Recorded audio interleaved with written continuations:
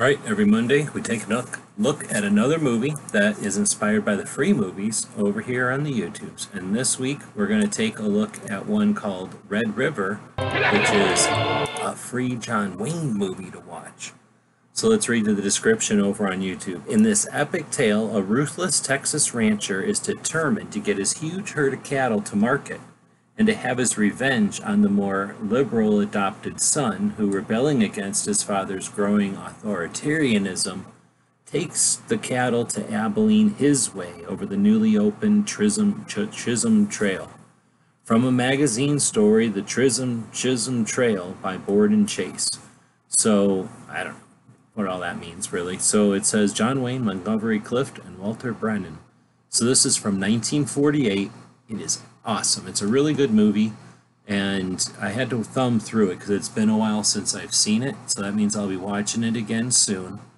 Uh, I dig all the John Wayne movies, but the black and white John Wayne movies are some of the best. They weren't trying to prove nothing back then. They were just enjoying as a group of people making movies.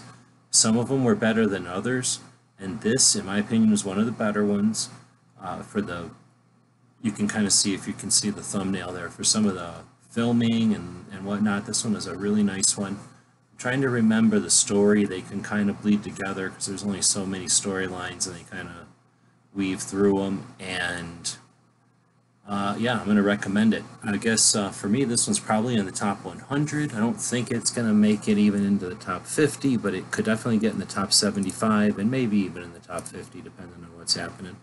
So uh, with that, We'll leave it for anybody else who may have seen this one to leave some comments and let us know what you think.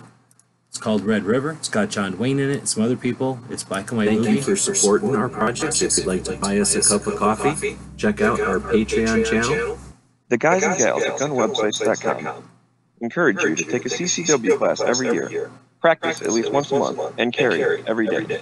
Thank you for watching gunwebsites.com.